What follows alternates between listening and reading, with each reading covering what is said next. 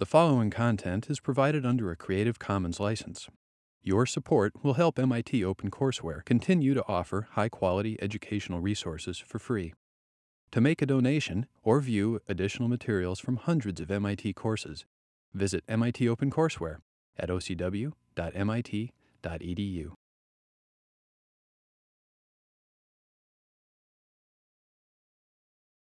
When you have a group of two or three, come grab a soldering iron and your solar cells from me and choose like somewhere in this room to work. We're just we're staying in here for this. Do you want us to overlay it? Don't, don't touch this. Oh, you don't you're not actually soldering directly. Yeah, you don't want to overlay it. Okay. Okay. So these three contacts will be parallel and these will be in series, right? Yeah, so you generally want to go Yeah. like Uh, you, you- the way you would generally do it is you would. So I think it's less critical that you cover this entire set. Okay. Um, so if you cover a little bit of it and solder to that, and the back is also like all of this is conductive. Uh, the only reason the tabs are there are because the tabs are easier to solder to, and so it's just con- more convenient. Um, and you don't really need to solder to all of them individually. You can only solder like at, minimal.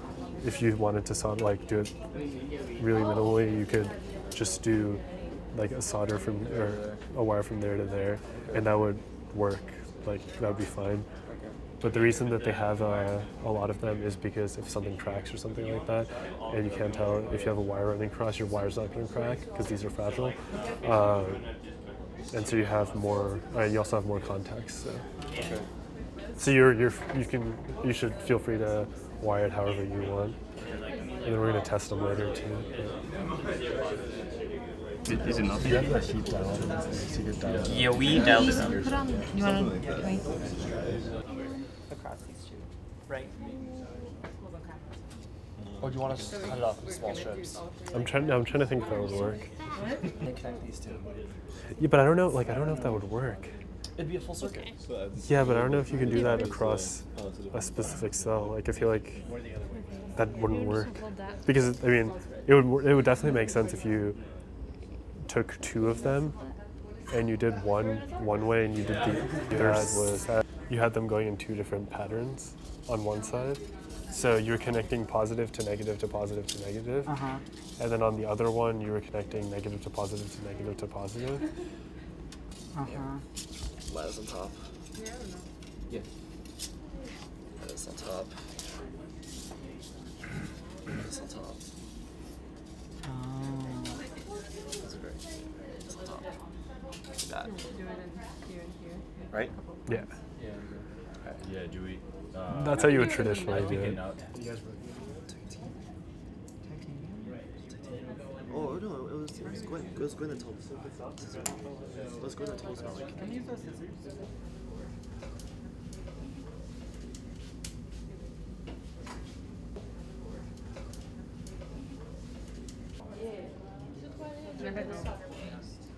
Damn it.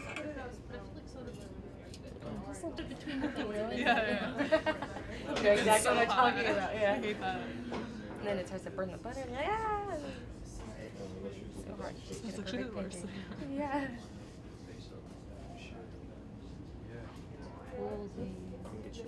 Do you have to do this side too?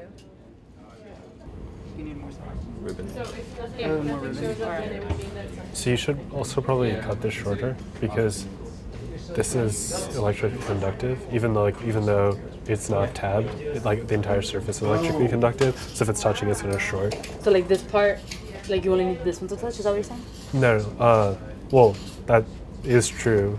So the thing is that um, all of these are like this is all one surface that's electrically conductive. The tabs are just there to make it easier to solder onto, or supposedly make it easier to solder onto.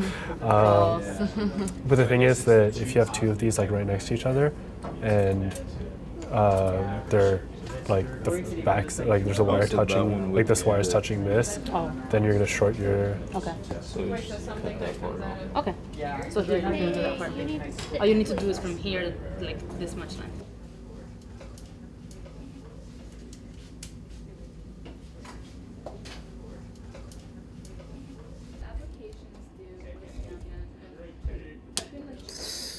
I heard something crack. Uh-oh. program, but I honestly don't even have time to do that validation.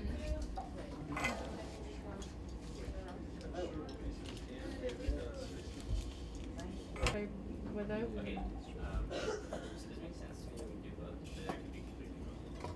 So, uh, I mean, are we supposed to do both sides? Like, are we supposed to have like both sides connected?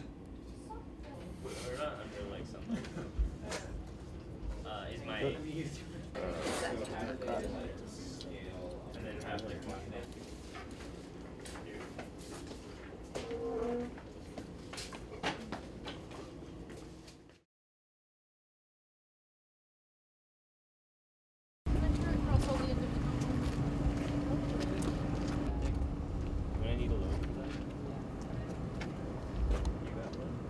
are really pretty in the sun.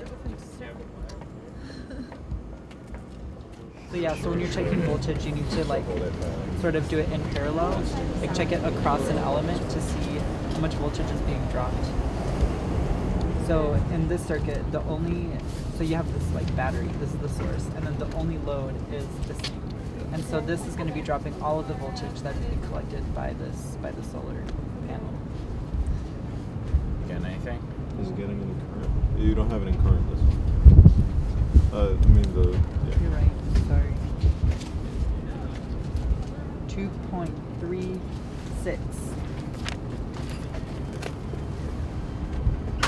That's milliamps?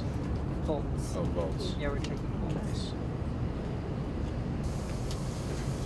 Then you don't need the volts. Then you don't need. Yeah, because this becomes this becomes like the finishing. Oh, like so it. in that case, we're, are we? Oh no, we're gonna still. Yeah, we'll check the voltage across just one. That one point two two point four for the whole thing, that Mm-hmm. Excellent. Nice work. Point five six. Point five eight Across across. the whole cell. One. Um, what was the resistance? 100 ohms. It should change it. Yeah, yeah. No, it was still wired across the board. Can we just, yeah, can we just go inside and Yeah. do a data switch? All those three numbers. Yeah, yeah. Okay.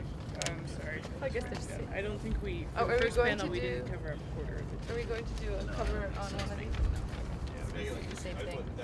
Do you want to just cover the we just all agree quarter panel for the first one? We didn't actually do that. Sure, let's do that. We just covered one entire cell. Same effect.